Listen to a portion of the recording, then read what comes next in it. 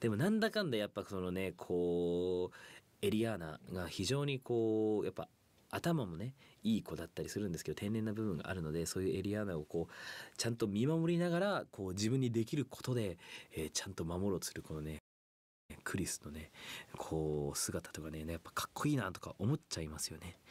映像もねめちゃくちゃねファってしててね本当になんかこうまさしく中世のこう RPG の世界観じゃないんですけどもこうファンタジーの世界観か。ファンタジーの世界観っていう感じがねとても素敵な作品で、えー見ていてもととてもね本当にほっこりさせていただきましたけども。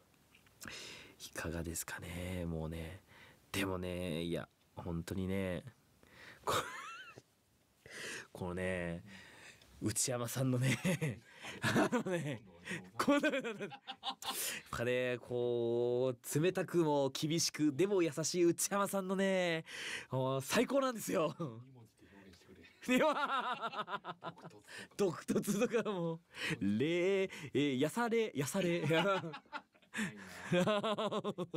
冷 何？冷蔵庫みたい。冷ねねあったかいけどいやほんとねあのね内山さんねほんとにそうですね。こう言葉の温度感うんじゃないところの優しさみたいなあの表現ってめちゃくちゃすごいなっていう本当に素敵なねお芝居をね。そう冷たさの中に。だからねあの冷やし唐揚げみたいな。気持ち悪い。冷やし唐揚げ知らない？福岡にあんのよ冷や冷やし唐揚げって。めちゃくちゃ美味しいんだけど本当にそういう感じ先輩の先輩のことをそうやって冷やげみたいなそんな風に表してはいけない。い